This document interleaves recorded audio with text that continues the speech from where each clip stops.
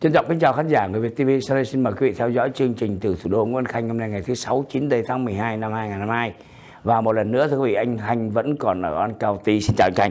Dạ vâng và cũng một lần nữa từ Orange County tôi là Nguyễn Văn Khanh xin gửi lời chào đến quý vị khán thính giả của người Việt TV và gửi lời chào đến bạn Đỗ Dũng. Vâng à, thưa quý vị, sáng ngày hôm nay chúng tôi có một cái tin à, có thể nói là chấn động chính trường Hoa Kỳ đó là thượng nghị sĩ Kirsten Sinema của Đảng Dân Chủ tiểu bang Arizona bà tuyên bố từ bỏ Đảng Dân Chủ.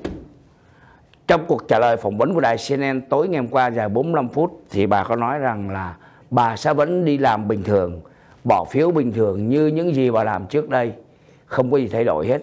Có điều bà không cảm thấy bà thuộc về đảng nào cả.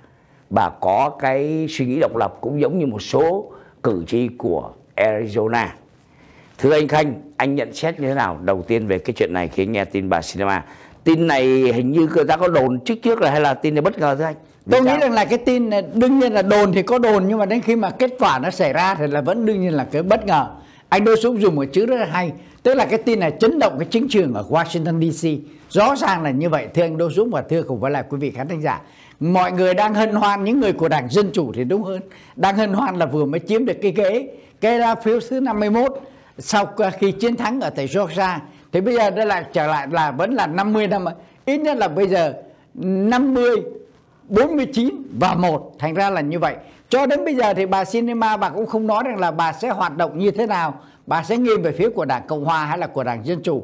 Nhưng mà ít nhất là cho đến giờ phút này thì là bà vẫn bảo là bà vẫn giữ nguyên những cái hoạt động mà bà đã từng làm trước đây. Tức là trong cái thời gian mà bà ừ, làm thượng nghị sĩ của những năm trước hai năm nữa thì bà ra tái ứng cử. Lúc đó người ta mới biết rõ là cái tình hình như thế nào. Nhưng mà dẫu sao rõ ràng nó là một cái chấn động. Và tôi nghĩ là ít nhiều thì nó có ảnh hưởng đến những cái quyết định của tổng thống Hoa Kỳ ông Joseph Biden những cái đề nghị mà ông đưa ra ở tại Quốc hội Liên bang Hoa Kỳ. Đó là cái điểm đầu tiên mà tôi nhìn thấy thưa anh Đô Sung. Ờ, có ba trường hợp xảy ra. Bây giờ bà chưa nói. Ờ, vâng. hôm qua người ta có hỏi bà là bà sẽ vẫn sinh hoạt với sinh hoạt với đảng vâng. dân chủ hay không? Vâng. Thì bà nói cái đó tùy theo DC vâng. tức là vâng. tùy theo ông Chuck Schumer trưởng khối đa số của đảng dân chủ hiện nay. Thì nó có ba cái gọi là hoàn tình huống xảy ra. Thứ nhất là như anh Khanh vừa nói là nó sẽ là 50 49 1 vâng. Là 50 dân chủ 49 cộng hòa một độc lập. Vâng. Trường hợp thứ hai là nó có thể là vẫn là 51 và vâng. 49 Đúng. tức là bà ra độc lập nhưng bà vẫn sinh hoạt với đảng dân chủ dạ, vâng. giống như trường hợp ông thượng nghị sĩ August King của tiểu bang Maine vâng. và thượng nghị sĩ Bernie Sanders của tiểu bang Vermont dạ, đúng không? Vâng. đúng đó là trường hợp thứ hai tức là vẫn 51 49 vâng trường hợp thứ ba là bà độc lập nhưng bà lại sinh hoạt với cộng hòa thì nó sẽ thành 50 50 50 50 dạ. đó vâng.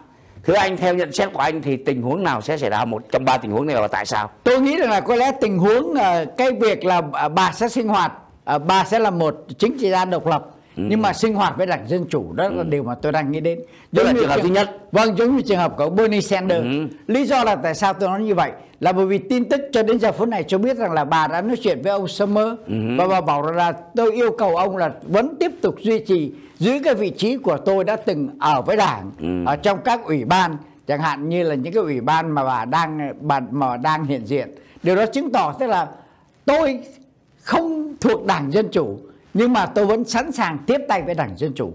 Đó là cái trường hợp mà tôi nghĩ là có thể sẽ xảy ra. tôi không sinh hoạt với đảng vâng. dân chủ vâng. nhưng mà tôi vẫn làm việc theo đảng làm, dân chủ. làm việc với đảng dân chủ. Dạ vâng. Thành ra là bởi như vậy. Thưa với anh Đỗ Dũng và thưa cùng với lại quý vị khán thính giả nếu mà điều tôi phải thú thật một điều là như thế này. Tôi ở Washington đủ lâu để mà biết rằng là bây giờ là ông Joseph Biden và tỏ vẻ cũng chỉ mong như vậy thôi.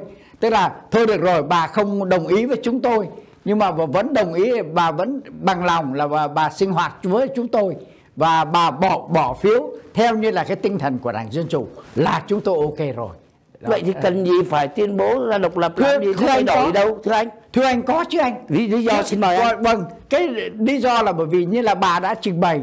Anh à, lúc nãy anh cũng có nói là bà nói rằng là bà thấy là bà cái tinh thần của bà cái suy nghĩ của bà không hợp với cả hai đảng không hợp với cả dân chủ không hợp với cả cộng hòa. Và đồng thời bà nói rằng là bà quyết định ra ra là trở thành một chính trị gia độc lập. Là bởi vì theo đúng như là cái tinh thần của đa số người dân uh, của tiểu bang của bà đại diện tức là tiểu bang Arizona. Thành ra cái đó nó cũng là một cái điểm mà người ta cần phải chú ý đến. Đặc biệt nhất là như thế này thì anh Đô Dũng và thưa cùng với là quý vị khán thính giả đừng quên rằng là nếu mà bà nhảy rào từ độc lập từ ờ, uh, cho xin lỗi từ dân chủ sang cộng hòa thì nó là cái biến cố quá lớn. Có thể là bà sẽ ở cái mức lưng chừng nhưng mà rồi sau đó thì bà sẽ có đủ thời gian để mà bà quyết định là có nên trở lại với với dân chủ hay là đi theo cộng hòa hoặc là bây giờ mình sẽ giữ nguyên cái tinh thần độc lập như là mình đã từng nói. Thật ra rốt cuộc sau nó cũng có những cái điểm quan trọng cho chúng ta cần phải lưu ý đến thưa anh Đỗ Dũng. À, có người người ta không tin như thế. Vâng. Người ta bảo là bà này sợ thua. Vâng vào năm 2024 bởi bà đắc cử đầu tiên năm 2018 vâng. 2024 cho đến giờ phút này thì bà chưa có nói là bà có tái ứng cử không dạ, nhưng mà vâng. với cái tuổi của bà như thế vâng. và với cái tham vọng chính trị bà người ta nói nhiều phần bà sẽ ra. Vâng. nhưng mà trong 6 năm qua thực ra là 4 năm qua thì đúng hơn bà đã bỏ những cái phiếu không có hợp với đảng dân chủ. Bà làm những việc không hợp với đảng dân chủ và cử tri đảng dân chủ đã từng bầu bà lên năm 2018 bây giờ người ta oải bà lắm rồi là có thể người ta kỳ này là không bầu bà nữa. Đó cũng là một lý do. và và theo cái cuộc bầu cử sơ bộ 2024 thì có thể bà sẽ gặp một đối thủ là ông dân biểu Ruben Ga- Galero. Đúng vậy. Ông này là có thể là bứng bà ra. Đúng thành vậy. thử đây giờ nó bảo là bà sợ thì nha thôi tôi ra độc lập. Vâng. À, anh nghĩ sao cái lập luận đó? Cái cái điều đó cũng là cái điểm mà tôi cũng đang nghĩ đến. Thưa Ừ. anh Đỗ Dũng và thưa cùng với lại quý vị khán thính giả tôi cũng đang nghĩ đến cái trường hợp như anh Đỗ Dũng nói tức là bà e ngại là có thể bà sẽ gặp khó khăn ngay từ bầu cử sơ bộ. Ừ. cho cái cuộc tranh cử sắp đến là năm 2024 Thật ra bây giờ cách hay nhất là mình hãy rút khỏi. Nhưng mà đồng thời mình đã thể hiện cái tinh thần của mình như thế nào đó để mà được thu hút được lá phiếu của cử tri. Đó là cái điều mà người ta à, người ta thường hay làm. Một cái điểm thứ nhì nữa là không phải là chỉ ở cuộc bầu cử sơ bộ không thôi mà bà cũng e ngại rằng là nếu mà trong cái trường hợp mà bà gặp khó khăn ở bầu cử sơ bộ thì như vậy cách hay nhất là chúng ta không tham gia bầu cử sơ bộ, mà chúng tôi ra ứng cử với lại tư cách độc lập. Thì như vậy sẽ không ai cạnh tranh với bà cả. Đó là cái điểm thứ nhì. Và cái điểm thứ ba, thưa với ờ, anh Đô Dũng và thưa cùng với là quý vị ờ, khán thính giả của người TV đừng quên rằng là khi mà bà ra, bà quyết định ở ở dưới cái vai trò độc lập tức là bà có một cái thế lực riêng của bà để mà bà có thể làm gây cái áp lực đó cái thế lực áp lực chính trị đó với lại đảng dân chủ. Thật ra chưa rõ là cái mục tiêu nó sẽ như thế nào nhưng mà đó cũng là những cái kịch bản mà người ta thường hay thường hay đi khi mà người ta tuyên bố rời khỏi một đảng này để mà trở thành ứng cử viên của à, ứng cử viên độc lập. Đó là cái câu chuyện ở Washington. Ờ, trở lại cái chuyện bầu cử nếu 2024 bà ra bà ra độc lập như vậy bên dân chủ đưa ông Gallego ra. Vâng thì liệu bà có đủ phiếu để thắng không? Bởi vì dẫu sao chăng nữa là bên cộng hòa là chắc chắn không bầu cho bà rồi. Vâng. Dân chủ họ không bầu cho bà rồi. Đúng. bởi vì bởi họ nói là bà nuôi ông tay áo bà Đúng. đài bát vâng. Thế giờ bà ra mà đứng độc lập như vậy đó thì có, liệu có đủ cái số cử tri độc lập để bầu cho bà không? Hay là bà ra như thế cuối cùng bà có thể thua cả dân chủ hoặc là cộng hòa thưa anh? Câu hay. Anh đối dũng là câu hỏi này rất là hay rất nhiều người cũng đã nêu những cái thắc mắc đó trước đây với lại những người mà quyết định ra ứng ra trở thành ứng cử viên hay là chính trị gia độc lập. Trường hợp của ông Bernie Sanders chẳng hạn là như Vâng. vậy là một cái thí dụ rất là điển hình. Khi mà họ làm như vậy thì đương nhiên là họ đã làm những cái cuộc thăm dò. Cái cuộc thăm dò tức là ở bên nội bộ của bà ở văn phòng của bà họ làm những cuộc thăm dò. Và thưa với anh cùng và thưa cùng với lại quý vị khán thính giả anh Đỗ Dũng đã từng tập à, tập sự ở tại Quốc hội Liên bang Hoa Kỳ, nội dung cũng rõ. Tức là văn phòng của thượng nghị sĩ nào là cũng có tiền để mà thuê những người để mà làm thăm dò. Có thể là khi mà họ thăm dò như vậy, họ thấy rằng là cái lợi thế của bà ở cái vai trò độc lập nhiều hơn là cái lợi thế của bà ở phía bên đảng Dân Chủ. Bởi vì đừng quên như thế này là nếu mà trong trường hợp bà vẫn có được cái uy thế trong vòng 24 tháng sắp đến, tức là trước ngày cuộc bầu cử 2024 diễn ra.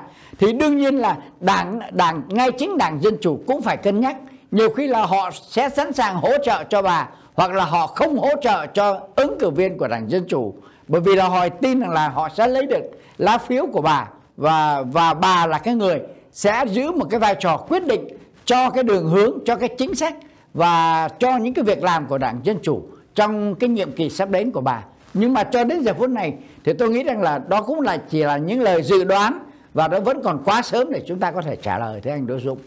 Ờ, trở lại với cái chuyện bà Sinema quyết định bỏ đảng Dân Chủ. vâng. Ờ, người ta nói rằng là cái này nó cũng có thể là uh, làm cho đảng dân chủ mất vui sau khi thắng cái ghế thứ 51 ở tại tiểu bang Georgia hôm thứ ba vừa rồi nhưng cũng có nhiều khi giúp cả đảng dân chủ luôn. À bởi vì người ta bảo là bây giờ như vậy là cả hai đảng đều phải o bế và cả cộng hòa dân chủ. Thì bây giờ mình chưa biết họ o bế như thế nào. Vâng. À, nhưng mà như thế này à, người ta bảo rằng là khi mà bà ra độc lập như vậy đó thì tự nhiên cái giá của bà nó cao hơn là bởi đúng như vậy. thế này. Đúng. Bên đảng cộng hòa thì chắc chắn là muốn kéo bà về nhưng mà bà sẽ không về bên cộng hòa bởi vì bà nói là bà không phù hợp với cộng hòa vâng. Bây giờ cũng không phù hợp với dân chủ. Thế nhưng mà bây giờ tự nhiên đang 51 tự nhiên thành 50 vâng. và một.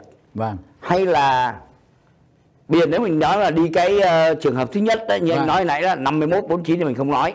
Bây giờ giả sử trong những người ta bảo bây giờ tôi đứng riêng này tôi một này Vâng. anh dân chủ 50 này anh cộng hòa 49 này. Vâng.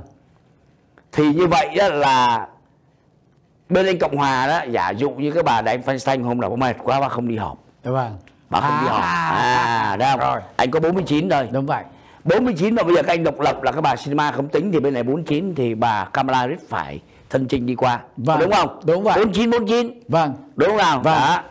Còn mà nếu mà thêm cái anh Joe Manchin mà anh làm tàng nữa. Cảm ơn anh. Đa đa đa Vâng. thì thưa anh có phải là bây giờ ông Chuck Schumer và cả Biden đang bị kẹt chỗ này không? Anh nghĩ sao về chuyện đó tôi nghĩ rằng là đương nhiên là cả hai ông đều nhìn thấy là cái cái cái thế kẹt của họ Vâng. bởi vì là rõ ràng là như thế này nếu mà anh Đô Dũng để ý thấy thì là chúng cái sự kiện nó xảy ra chỉ có 48 tiếng đồng hồ À. sau khi đảng Dân Chủ lấy được cái lá phiếu thứ 51 Dạ. ở tiểu bang Georgia.